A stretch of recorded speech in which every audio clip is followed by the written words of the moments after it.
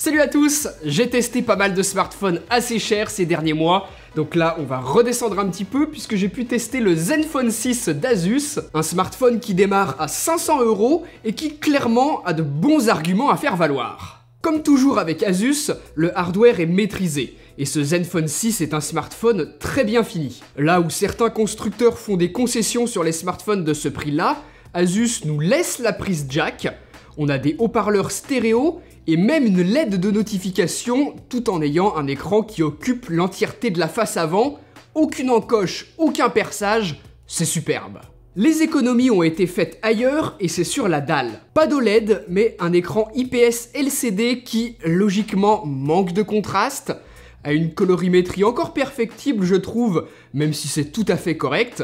La luminosité maximale est bonne, même si sous le gros soleil d'été en ce moment, c'est parfois un petit peu limite. Donc cette absence d'OLED va surtout être gênante pour vous si vous y êtes habitué. Si votre ancien smartphone a un écran OLED, bah c'est pas génial de revenir à du LCD, puisqu'en regardant des vidéos, on voit clairement un manque de profondeur dans les noirs par exemple. Un mode sombre sans pixels éteints, c'est évidemment pas aussi agréable que sur un écran OLED. Bref, vous m'avez compris, c'est le principal reproche que l'on peut faire à ce Zenfone 6, et Asus a dû faire des choix pour maintenir un prix d'achat relativement bas, tout en proposant d'excellentes choses partout ailleurs sur ce smartphone. Les boutons tombent bien sous les doigts, celui de la tranche qui permet d'activer Google Assistant par défaut peut être reconfiguré si vous le souhaitez pour lui attribuer une autre fonction parmi toutes celles au choix. J'ai trouvé les haut-parleurs puissants et d'assez bonne qualité, chose rare sur les smartphones de ce prix-là, et l'écran, évidemment, est très agréable avec des bordures très fines et l'absence d'encoche ou de perçage, ce qui est très agréable lorsque l'on joue ou regarde des vidéos. Ce Zenfone 6 est aussi double SIM et vous pouvez étendre le stockage avec une carte micro SD sans pour autant choisir de sacrifier une carte SIM. Les trois rentrent. Par contre, pas de recharge sans fil, c'est très rare sur les smartphones à ce prix-là, à part chez Xiaomi, donc franchement je m'y attendais. Là où ce Zenfone 6 va se démarquer des concurrents et où Asus a innové, c'est sur le mécanisme de l'appareil photo qui pivote, vous voyez, pour rentrer ou sortir. Ça permet de laisser l'écran occuper toute la face avant, mais contrairement à ce que l'on peut voir chez OnePlus par exemple, l'avantage ici est que l'on va profiter de la même qualité photo à l'avant comme à l'arrière. J'en reparlerai plus tard quand j'en serai à cette partie-là de mon test. Avant, on va éclaircir certaines interrogations que vous pouvez avoir sur ce mécanisme. On peut s'en servir pour la reconnaissance faciale, mais évidemment, c'est lent. Il faut que le module se déploie et je doute que vous ayez la patience. À la place, on peut se servir du capteur d'empreinte digitale situé au dos. Mais le désavantage de ça, c'est lorsque le smartphone est posé sur une table ou un bureau, impossible de déverrouiller sans le prendre en main, à moins d'utiliser le code. Le capteur est au dos et le module photo pour la reconnaissance du visage sera bloqué, on n'a pas trop d'autres solutions. Forcément, aucune certification de résistance aux poussières et à l'eau pour ce Zenfone 6, à cause du module qui se déploie évidemment, et la question de la fragilité se pose aussi. On en aura la certitude qu'après quelques années. Donc pour l'instant, tout ce que je peux vous dire, c'est que ça a quand même l'air d'être du costaud.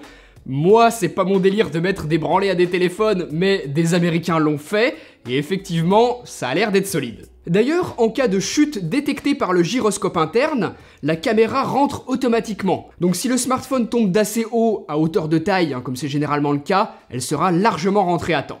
Comme d'habitude, moi, j'ai tendance à vous conseiller de protéger votre smartphone. Et justement, mon sponsor RhinoShield propose déjà des protections pour le Zenfone 6. Sur leur site internet, vous pouvez personnaliser votre coque si vous voulez inscrire un message, mettre une image de votre choix, bref, quelque chose d'unique. C'est évidemment un petit peu plus cher que le modèle classique que j'ai ici, mais en tout cas, tous laisseront passer le module photo sur le dessus, tout en protégeant des grosses chutes si votre smartphone vous échappe des mains ou alors si vous travaillez dans des métiers à risque. Le lien est juste en dessous dans la description de la vidéo si vous avez envie de vous équiper et je vous rappelle qu'avec le code STEVEN, vous avez 10% de réduction sur la totalité de votre panier. À l'intérieur de ce Zenfone 6, Asus a choisi le Snapdragon 855 accompagné de 6 Go de mémoire vive sur le modèle que j'ai ici, mais vous pouvez en avoir jusqu'à 8. C'est le processeur le plus puissant du moment, parfait, il fait évidemment tout tourner parfaitement, mais de bons composants ne suffisent pas si le logiciel n'est pas lui aussi excellent. Ça a toujours été un reproche fait à Asus, même si oui, l'année dernière, de gros progrès ont été faits. Mais cette année, c'est encore mieux, c'est enfin très satisfaisant, je trouve. Plus d'applications préinstallées et qui ne nous servaient à rien. Sorti de la boîte, on a le strict nécessaire et l'interface évolue encore pour se rapprocher au plus près d'Android stock. Nickel. Les gestes de navigation d'Android 9 sont d'ailleurs présents. Vous pouvez remplacer les touches si vous préférez, et pourquoi pas puisque ça fonctionne bien, même si ça manque encore un tout petit peu de fluidité. Niveau autonomie, c'est excellent. C'est un de ses gros points forts puisqu'à l'intérieur, Asus a mis une batterie de 5000 mAh. C'est tout simplement un des smartphones les plus autonomes du moment et à ce prix-là, c'est clairement un gros point fort à prendre en compte au moment de choisir votre smartphone. Pour vous donner un exemple concret, j'ai récemment fait un voyage en train de 2 heures en faisant que de regarder des vidéos sur le Zenfone 6. Donc avec la 4G qui recherche systématiquement de nouveaux relais, hein, forcément à grande vitesse, et j'ai perdu un tout petit peu plus de 10%, ce qui est excellent. À titre de comparaison, je crois qu'avec l'iPhone, je le vide quasiment de moitié. En veille, il consomme également très peu. Bref, vous pouvez très bien faire ce que vous voulez sur ce Zenfone 6 sans vous préoccuper de la batterie qu'il vous restera à la fin de la journée. C'est génial. Et si vous l'utilisez un petit peu plus modérément, vous pouvez très facilement passer deux jours sans avoir besoin de le recharger, ce qui est fréquent lorsque l'on travaille du matin au soir. Donc vraiment, l'autonomie, gros point fort, bravo Asus. Niveau photo, le Zenfone 6 a un double capteur. Un grand angle, capable de faire des photos de 48 millions de pixels, et un ultra grand angle de 13 millions de pixels. Par défaut, je trouve que les couleurs sont trop saturées. De manière générale, le traitement électronique de l'image d'Asus est plutôt agressif. Moi, j'ai désactivé l'intelligence artificielle, mais conservé le HDR pour trouver un équilibre entre les deux, et voilà le résultat que l'on peut obtenir avec ce Zenfone 6. C'est correct, sans être incroyable non plus.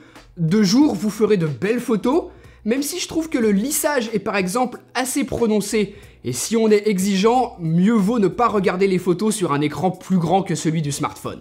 Ça reste amplement suffisant pour rapporter de beaux souvenirs de vacances, mais forcément, il y a une différence avec les smartphones bien plus chers. L'ultra grand angle est le plus décevant des deux, avec toujours ce lissage très présent, une forte déformation optique, des aberrations chromatiques dès que le soleil tape fort, et une plage dynamique qui a du mal à rivaliser avec ce que fait le capteur principal. Donc voilà, petit bémol là-dessus, mais au moins on a deux vraies longueurs focales et plus de possibilités créatives que ce que peuvent nous offrir d'autres smartphones à ce prix-là. Je pense notamment à ce que propose OnePlus, où on n'a qu'une seule longueur focale. D'ailleurs, la cohérence des couleurs est plutôt bien respectée d'un capteur à l'autre, ce qui est toujours agréable. Bref, c'est correct pour un smartphone à ce prix-là, je trouve. En basse lumière ou de nuit, par contre, pas de miracle, on parle d'un smartphone à 500 euros, ça bruite très vite et la balance des blancs automatique a souvent du mal. Un peu dommage, mais franchement rien d'étonnant, c'est là où l'on trouve la plus grande différence avec les smartphones qui coûtent des centaines d'euros de plus. Petit détail sur un truc que j'ai trouvé cool, le bouton Google Assistant que je vous ai montré tout à l'heure, il peut servir de déclencheur pour nos photos, ce qui est pratique pour rester stable sur un selfie par exemple. Enfin, on peut glisser sur l'écran pour choisir soi-même l'inclinaison du module photo, ou bien on peut se servir des boutons de volume. Ça permet de prendre des photos discrètement ou dans un angle un petit peu différent de ce que l'on aurait l'habitude de faire, mais en vrai c'est plus un gadget qu'autre chose. Le gros avantage du module qui se retourne, c'est que l'on a enfin un bon capteur pour nos selfies. C'est clairement le meilleur smartphone pour ça aujourd'hui, et on peut profiter de l'ultra grand angle pour faire des selfies de groupe en bonne qualité par exemple. Le flou d'arrière-plan est bien plus naturel que les simulations qu'essayent de faire tous les constructeurs depuis des années, et c'est normal.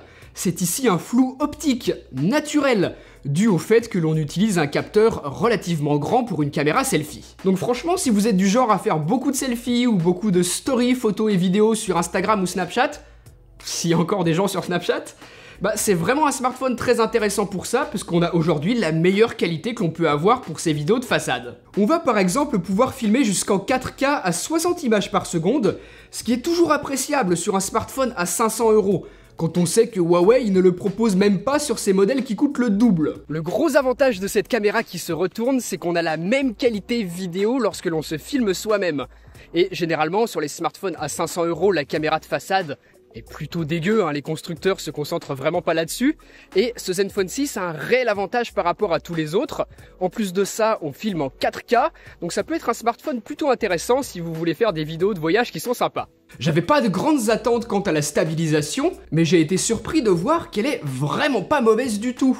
vous pouvez très bien filmer en 4K à 60 images par seconde à main levée et obtenir un résultat tout à fait acceptable. Et sinon, vous pouvez descendre en qualité, par exemple passer en 4K à 30 images par seconde, où là, la stabilisation, je la trouve vraiment convaincante. Si on obtient des images que je trouve légèrement moins bonnes que celles que l'on peut trouver par exemple chez Xiaomi ou OnePlus dans ces mêmes prix, c'est tout de même très correct. Vous aurez de quoi faire de belles vidéos si votre sujet est intéressant. Donc voilà ce que je pense de ce Zenfone 6. À 500 euros, forcément, il y a des différences avec les smartphones qui en coûtent plusieurs centaines de plus.